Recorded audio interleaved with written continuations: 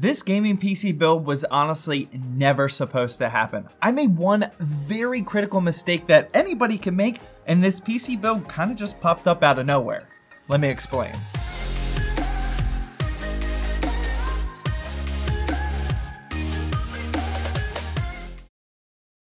Hey, welcome to Zach's Tech Turf. I have a lot of explaining to do today. A couple of months ago, I was ordering parts for a different PC and ended up making such a stupid mistake, but that mistake eventually evolved into creating this certified baller gaming PC. Hopefully you all saw the video, but about a month ago, I uploaded my own personal ITX build that looks super sick for my home office. It's rocking an i9 10850K, 32 gigs of RAM, and RTX 3070, and it's all inside this beautiful NR200p ITX case. The thing about ITX gaming PCs is that they need an ITX motherboard to work. It sounds obvious, but no, I completely screwed that part up. To this day, I still don't know how this happened, but when searching for the perfect ITX motherboard, I accidentally bought this Asus ROG Strix Z490 Micro ATX motherboard, and this was obnoxiously expensive at $240. I honestly think it was the price that made me think it was ITX. $240 for a motherboard is just outrageously expensive, especially for someone like me that usually doesn't even overclock. So fast forward about a week later, later, and here I am with a $240 micro ATX motherboard for an ITX build. Obviously this didn't work out so well, so I had to buy another ITX motherboard, and obviously I could have simply returned the micro ATX board, but a guy like me is actually super busy, and I ended up just shelving the motherboard accidentally until my Amazon return window ran up and it was too late. I was now stuck with a $240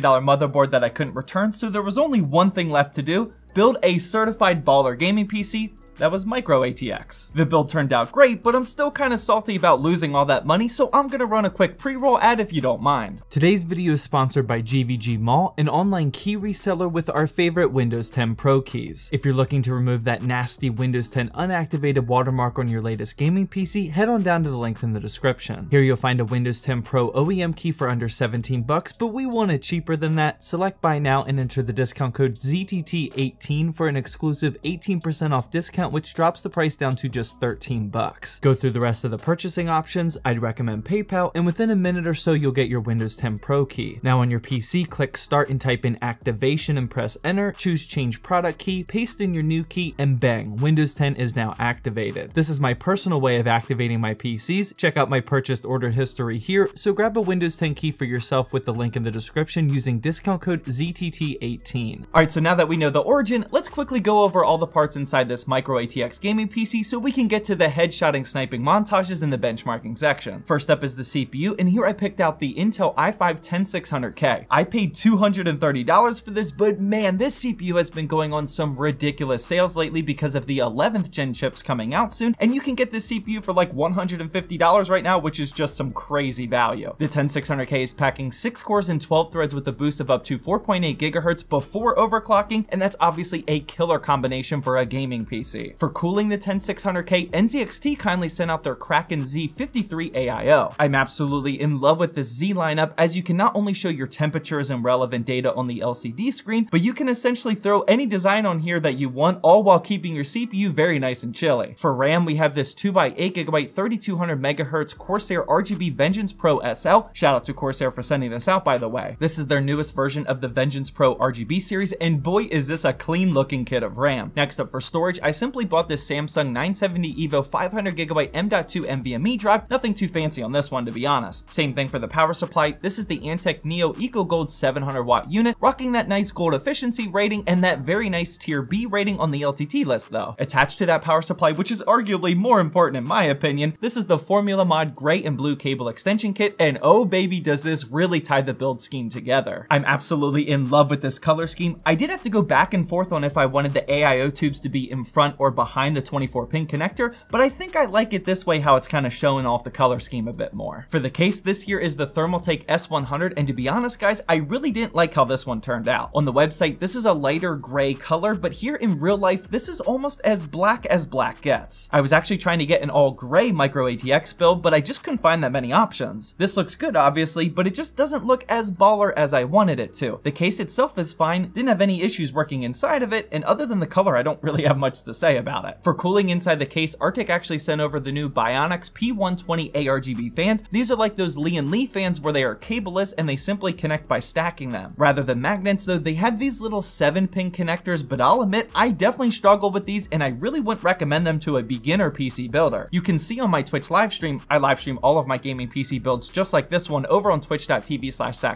by the way. I spent way more time trying to install this because it was pretty difficult to get this tiny little connector to line up properly with the fan above or below it, all while inside the case already, and I may have been swearing a little bit while doing this out of frustration. I think the end product of these fans looks great. I love how super diffused the RGBs are, and I definitely like how you can see it through the vents up here at the front. I would just really not recommend these if you're a first time PC builder. And finally, saving the best part for last, remember we gotta extend that YouTube watch time, so we save the GPU till the end, and shout out to Micro Center for sending out this Gigabyte Eagle OC RTX 3060 Ti.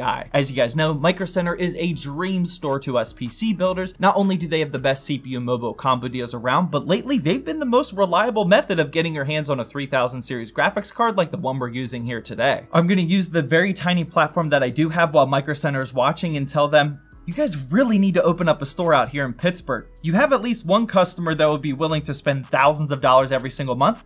So can you please make that happen? They're also hooking you guys up with some free stuff, so make sure you check out those links down in the description. With the wishful thinking aside, here's what the final parts list is looking like for this gaming PC that essentially wasn't supposed to be built, but boy am I glad that it did. I'm not entirely happy that a simple wrong motherboard purchase caused this to happen, but I gotta imagine it's gonna perform like an absolute monster in the benchmarking section. Speaking of which, we'll start with Call of Duty Black Ops Cold War, and here we had to jack that resolution up to 1440p, obviously with the 3060 Ti and with high settings and ray tracing turned off, I got an average FPS of 162.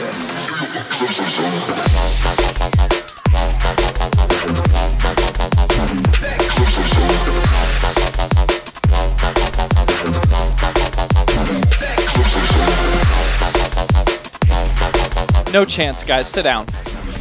I'm telling you, everybody sit down.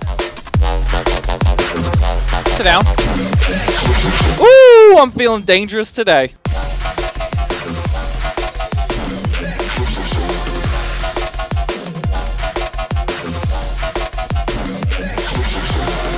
Next up, we have Valheim, just for some more repping of that exclusive AFZTT dedicated server, and in 1440p with high settings, I got 82 frames per second. Assassin's Creed Valhalla followed up after that, and in 1440p with high settings, I got 75 FPS. Next up was Rainbow Six Siege, and just like always, using the built-in benchmarking tool, this game was no match for this PC, as in 1440p with very high settings, it got 297 FPS. Everyone's favorite Fortnite was up after that, and in 1440p with pro settings, I got 286 frames per second. My personal favorite competitive shooter still is Rogue Company, although it still has that stupid baked in 150 FPS cap. Why can't we remove this yet? Seriously. And in 1440p with ultra settings, it got 147 frames per second. Borderlands 3 tailed up after that, and using the benchmarking tool in 1440p with high settings, I got an average FPS of 90. And for the last gaming benchmark and sniping montage, we have Valorant, and in 1440p with high settings, I got an obnoxious 241 FPS.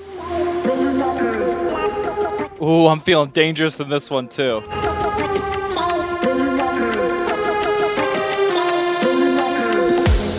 Real dangerous.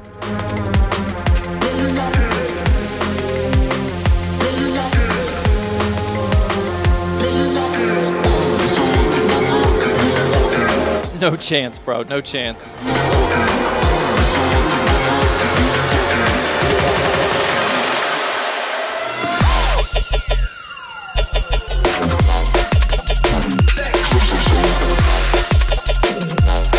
Sit down.